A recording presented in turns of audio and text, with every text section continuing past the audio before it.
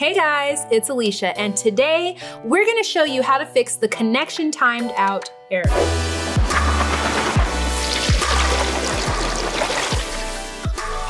Are you seeing the connection timed out error in your browser? Not a very helpful error message, is it? In today's video, we're gonna take a deep dive into what you can do to fix this error quickly. Of course, before we get too far, I wanna let you know that there will be links to more resources in the video's description and remember, subscribe and ring that bell to get notifications for future helpful content. All right, now, what should we do to get this error fixed?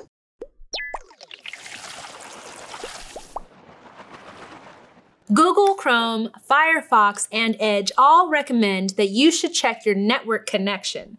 While this might sound obvious, they all point to checking your connection first as it's one of the most common reasons for the error. Here are a few things we recommend. Restart your home or office router. This only takes a few minutes and solves more problems than a lot of people would like to admit. To completely power cycle it, disconnect the power supply, and then wait 30 seconds before plugging it back in. Now check to see if you're on a bad or slow Wi-Fi connection. This is a common occurrence on busy public Wi-Fi hotspots such as coffee shops or airports. Firewalls and antivirus software are intended to protect users and their systems. They scan your device regularly and automatically block any suspicious activity. However, this type of security can at times lead to connection issues. This is because firewalls can often block pages they don't need to or reject content that is completely safe. To check whether this is the case for you, try disabling your firewall and antivirus programs. Of course, this is only advised if you know for sure that the site you're intending to visit is safe. Additionally, you should only disable this kind of software temporarily. Switch it back on after you finish checking to see whether the error has been resolved so you don't become vulnerable to attacks. To disable or check to ensure no proxy settings are enabled, follow these steps. Access the settings menu in your Chrome browser. This will open up the complete menu of options. Under the System section, you'll need to click Advanced at the bottom to see this. You should find an entry titled Open Proxy Settings. By selecting it, you'll be taken to the corresponding menu. Your next step depends on the system you're currently using. Windows users will want to click on LAN settings and uncheck the Use Proxy Server for LAN option. If you're a Mac user, you should immediately find yourself in the relevant menu. You'll then have to uncheck all selectable proxy protocol and check to see if the error message has been resolved. If you're on Windows, you will see a LAN settings window appear.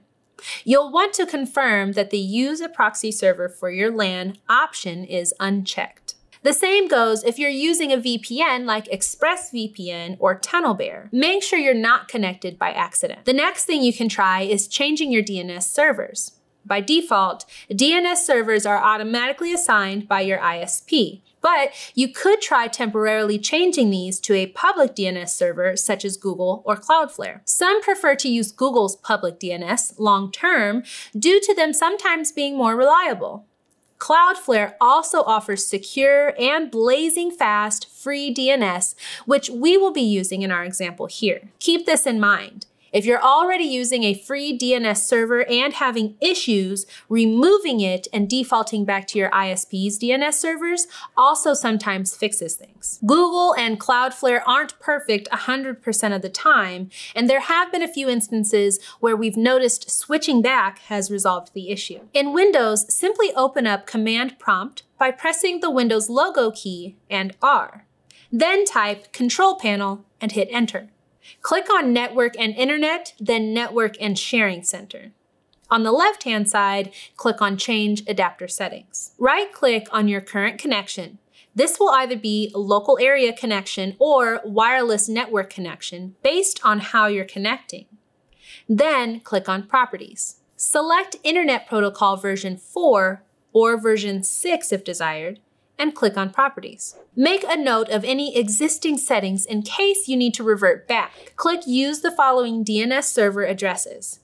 Enter the following or replace the existing with these. Click OK, then close. Now restart your browser. To change DNS servers on a Mac, go to System Preferences. Click on the network icon and then click Advanced. Click on the DNS tab, then add Cloudflare's DNS server addresses. You can also try flushing your local DNS cache. This is similar to clearing out your browser cache. It could be that the site you're trying to visit isn't resolving to the correct IP address. If you're just migrating your WordPress site to a new host, it's important to wait for things to fully propagate. This can sometimes take up to 24 hours, although it can be as little as a few minutes.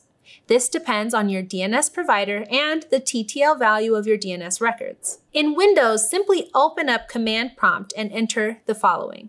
You should see a successfully flushed the DNS resolver cache if it worked. For macOS users, you can enter the following in the terminal. Every computer has what they call a local hosts file. This is a file that contains manual DNS entries, which are matched to specific IP addresses. Typically, this is only edited when you want to preview your DNS before switching over domains to a new host.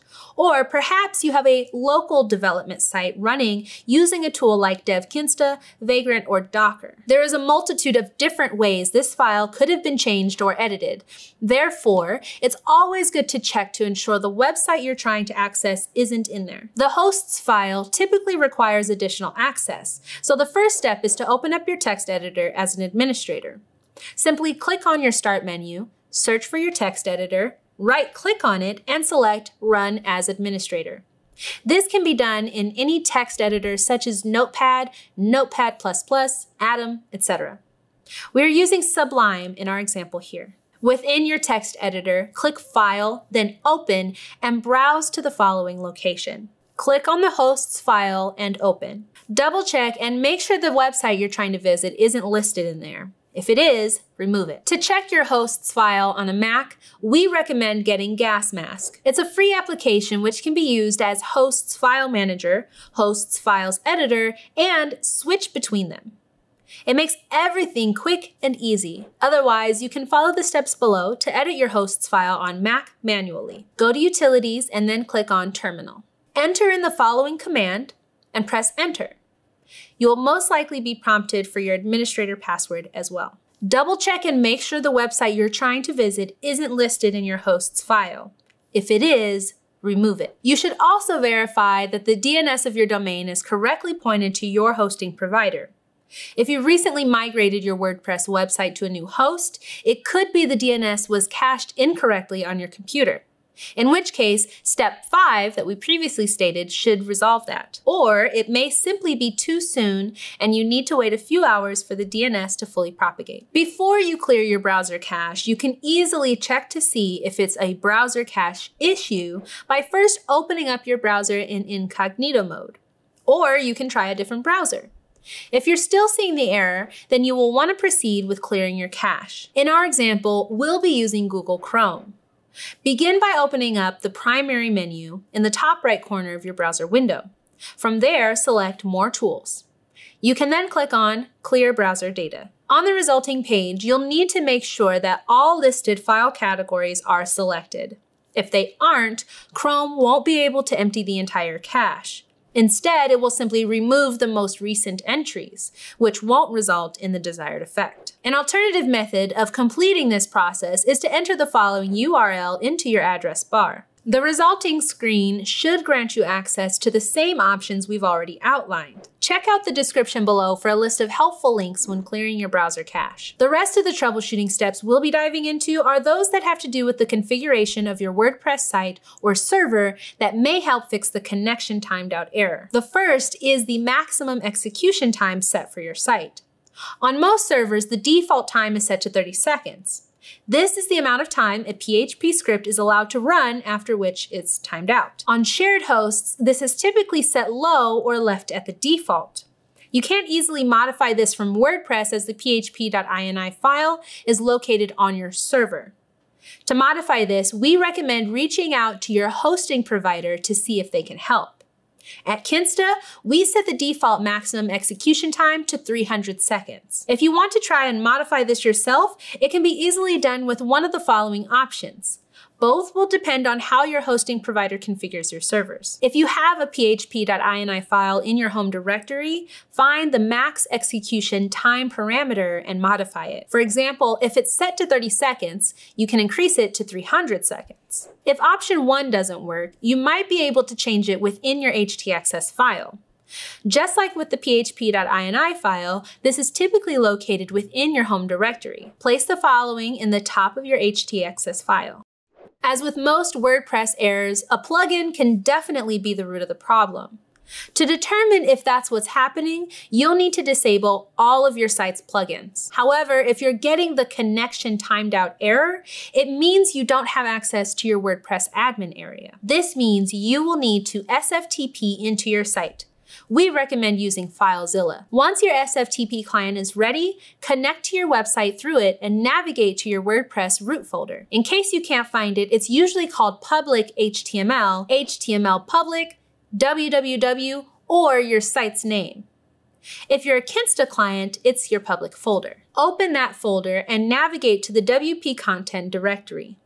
Inside, you'll see a folder called Plugins, which contains individual subdirectories for each of the plugins installed on your site, both active and inactive. What you're going to do now is right-click on the plugins folder and rename it to something else we recommend plugins.old or plugins.deactivated so you can easily recognize it later. WordPress will not be able to find any of your plugins. When that happens, it will automatically disable those plugins. Now, try accessing your WordPress dashboard. If the timeout error is gone, then you can assume that one of your plugins was the culprit. All you have to do is figure out which one was at fault. Return to the WP content directory and rename your original plugins folder correctly. Then you'll need to disable each one of your plugins one by one until you find the culprit. To do this, open the WP content plugins directory. Inside, you'll find one folder for each of your plugins. First, start with the first folder and rename it to anything you like. Then check your website to see if the error is gone. If it isn't, return the plugin folder from the previous step to its original name. Now, move on to the next plugin on your list, repeating these four steps. This process can take a while if you have a lot of plugins, but it's vital to check each plugin in turn.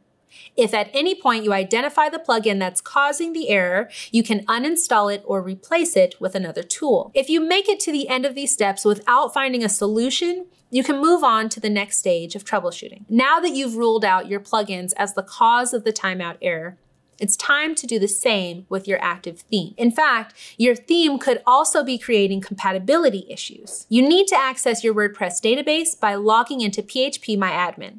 If you're a Kinsta client, this can be found within the info section of the MyKinsta dashboard.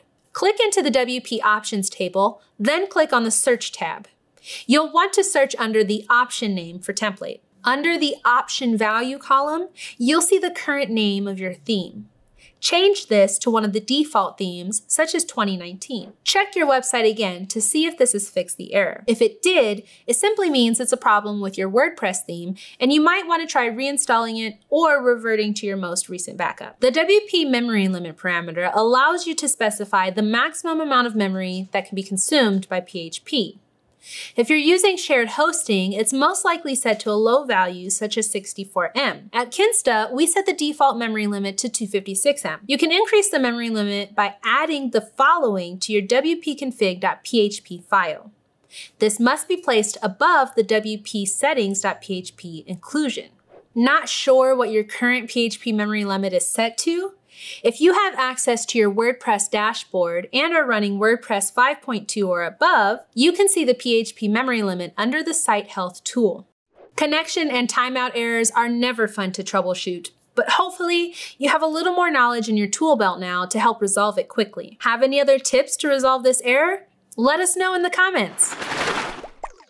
An unsecured website puts your customers and reputation at risk. With Kinsta's Cloudflare integration, all the security features you need are built right into your plan at no additional cost. That's a monthly savings of around $200 per site.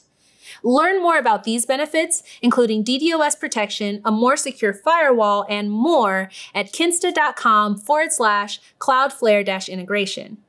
Thank you so much for watching. If you found this video helpful, please don't forget to like, subscribe, and hit the notification bell for more tutorials, explainers, and helpful content like this.